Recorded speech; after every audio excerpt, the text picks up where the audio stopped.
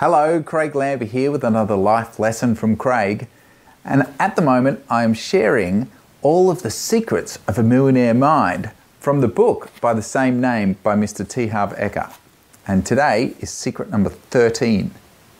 And that is that rich people focus on their net worth, and poor people focus on their working income.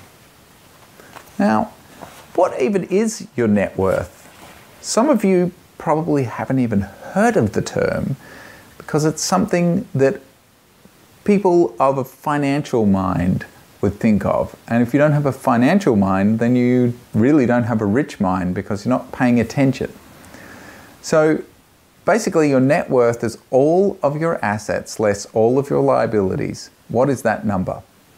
Now, if you focus on that number, if you know what it is in the first place, and you then focus on it, then you are focusing on growing it. And the way to do that is to look at what you're investing your time, your money, your income, and your other investments into. Because you want to grow your net worth.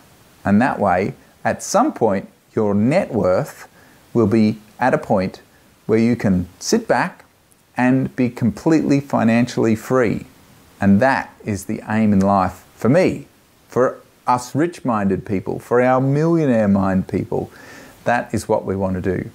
We can reduce our monthly expenditure and increase our passive income and our net worth. And that is how to have a millionaire mind. I have a millionaire mind. You can too. I will see you on the next video.